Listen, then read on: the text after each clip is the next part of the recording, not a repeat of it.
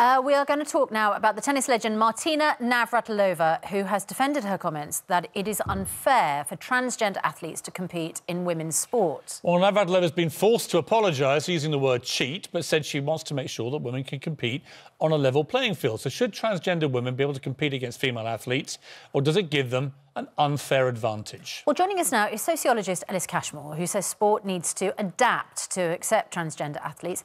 India Willoughby, alongside him, is Britain's first transgender TV newsreader and doesn't think any trans person, person should compete at an elite level. And from Wiltshire, former Olympic swimmer Sharron Davies, who thinks trans athletes shouldn't compete in female sporting events. So, good morning to all of you. India Willoughby, I want to start with you.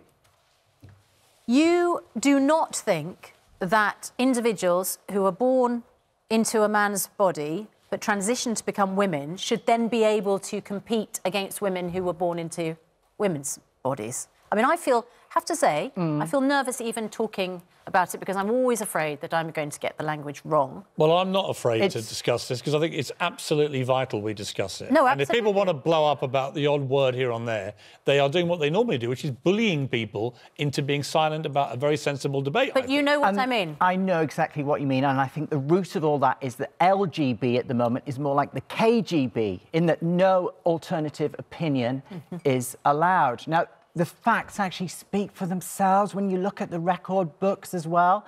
You know, I think I looked up last night, there are 2,000 men in the world at the moment that can run 100 metres faster than the greatest sprint, female sprinter of all time. Mm. 2,000 1,500 of the top male tennis players could beat Serena Williams. Yeah. So if even one of them decides to, to become identified, all you have to do, you don't have to fully transition or go through any surgery or anything like that. You just have to say, I identify as a woman. You need you to have, be on hormone. You have hormonal treatment to reduce your testosterone levels to the required level, mm. but you physically remain the same, and then you can compete in the women's yeah. sport. And it's not just about strength as well. I mean, I, obviously I'm not on testosterone anymore. I actually have less testosterone than a natural born woman in my body. Mm. Um, it's more to do with the fact that if you've gone through male puberty, the chances are, not exclusively, but mm. the chances are you're going to be taller, broader, mm. your stride is going to be greater, your reach, all of these factors come into play at the elite level where margins are really Well, let's bring in Sharron Davies. Sharron, you've competed at the elite level of women's sport. It seems to me it's incredibly troublesome the journey that this is all going. I, I completely salute Martina Navratilova for putting her head above the parapet. She's been instantly shot down. She's been fired from charitable organisations in America because of this, being accused of being transphobic, despite being one of the biggest supporters of transgender people imaginable, frankly. But tell me this from a pure sporting perspective, from your point of view, what is the issue? Uh, the issue is if obviously you've gone through puberty. I mean, India said it all really. And if you go through puberty, you have all the benefits of having a male body. And even if you transition and reduce your testosterone, you're still going to have those benefits. You're going to have the, the bone structure, the slightly bigger heart, more red blood cells, um, you know, the, the, smaller pelvis sitting on a cycle. That makes quite a big difference. So therefore, a female athlete competing against a transgender female is always going to be at a disadvantage. Now, I, as you said, competed in the 80s when I was uh, with, with the East German system. It was a, a different process, but the same aim result. You stood on the block knowing that you just could not beat this person next to you, no matter how hard you trained. And that's why I've come out and said what I've said to support Martina, as has Paula, you know, as has Nicola Adams. Many people are actually saying, look, come on, you know, we are not transphobic whatsoever. We, we understand that transphobic uh, men and women have gone through a really tough process, and we very much support them. But actually, we also need to support female athletes as well. So, I mean, I suppose the obvious question then is, if they, if we say, right, transgender women who were born to male biological bodies, they can't compete against women in sport. How should they compete? Because what you don't want to do is then discriminate against transgender women athletes. What is the fair solution, do you think? Because that seems yeah, to me absolutely. to be an obvious second question. Yeah, absolutely. I mean, the difficulty is you can't really hold uh, another category alongside of the Olympic Games because transgender women and men would be such a small category. It would be very difficult to hold a competitive race. But maybe what you could do is have a transgender games, which could be put on across the whole world by the transgender community, the same as they have the transplant games, which are really successful and very large.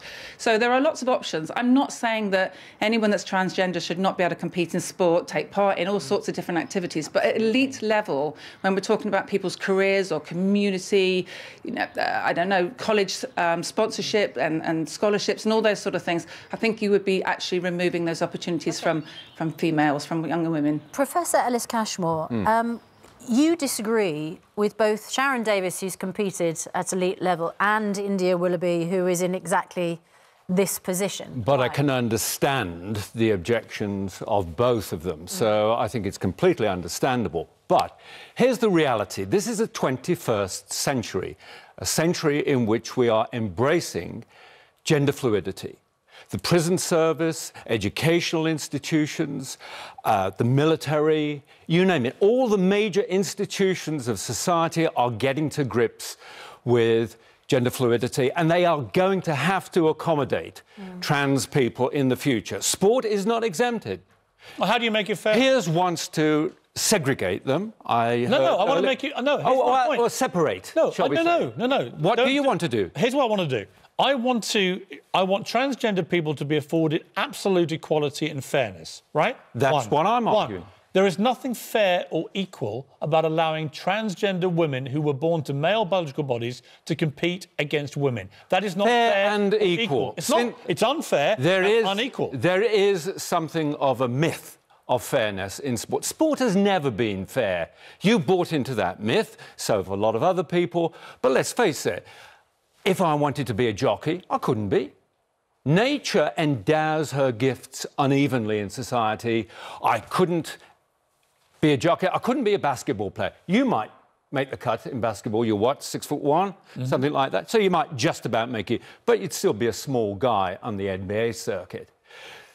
We just have to come to terms with the fact so you that think, so, okay. sport is so let me ask unequal. You, so what about this then? What about, as mm. Martina Navratilova put in her point, you take this to uh, the worst extreme, right? Which is? Which is that we know lots of cheating happens in sport for commercial Martina gain. has withdrawn that. No, no, I'm not talking about. I'm not talking about that. I think it's wrong to call the transgender athletes. Cheating. There is no deliberate but it is intent not, to procure. Let me finish my question. Advantage. Let me finish my question. The point I was going to make is this: it is not beyond the realms of fantasy mm. that a low-ranking male tennis okay, player. Okay. Well, let me finish. I, I know I, what you're going to say. Well, let me finish what I'm going to say. Which has happened. The top 1,500 male players in the world mm. would beat Serena Williams, the greatest tennis player of all time, right? So, okay. so what happens if one of them decides, for purely mm. purely financial mm. gain to put his hand up, yep. say, I identify as a woman, yep. I'll have the testosterone treatment. He doesn't even need to do that. Right, I'll compete against the women, I'll win tens of millions okay. of prize money, I'll be a champion at everything, and I will effectively destroy women's tennis, right, by doing this,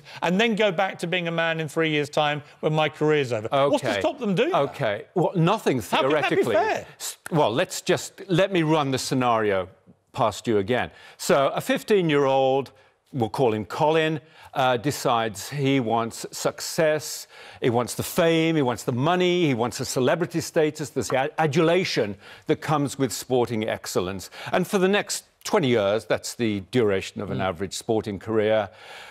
Colin becomes Colleen mm-hmm.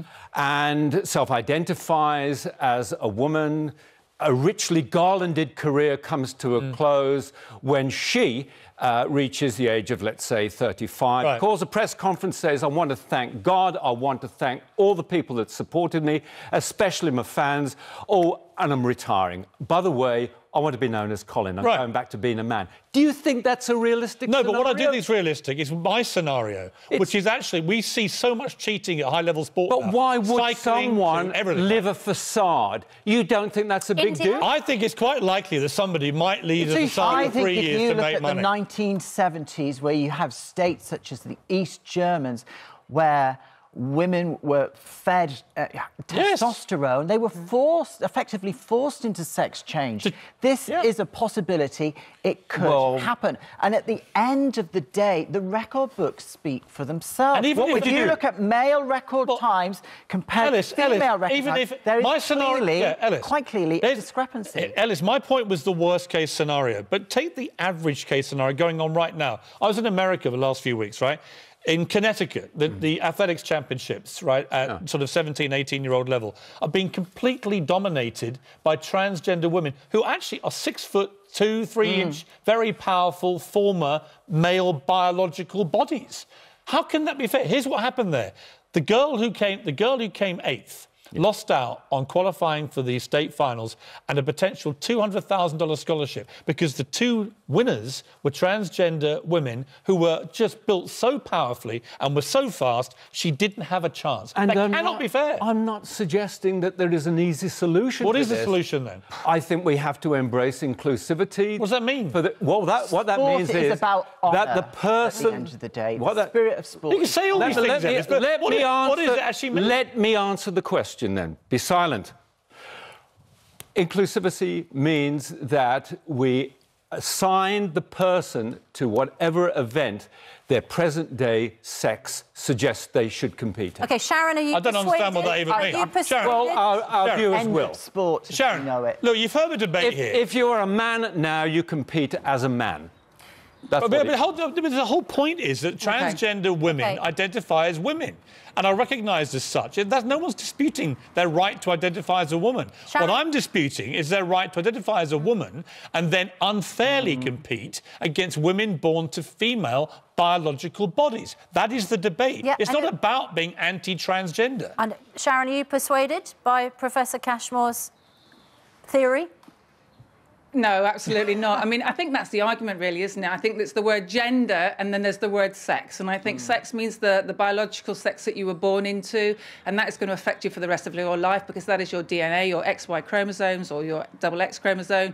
And you're not going to lose that, whatever you know, you're, you're given or whatever you suppress. So, Sharron, how and do then you there's your gender of choice. And I think it's really important that we support the Sharron, how do you stand on um, I stand on, on the, uh, we've already had this discussion. Not today, We've, we haven't. We've already had that discussion once before, actually, on the radio 10 know, days ago. So- and you know that I, that I stand on the fact that she should be able to compete if Well, she reduces her yeah. testosterone. She was born a So- woman. but that Yeah, is an this is individual case. That's not what we're talking about today.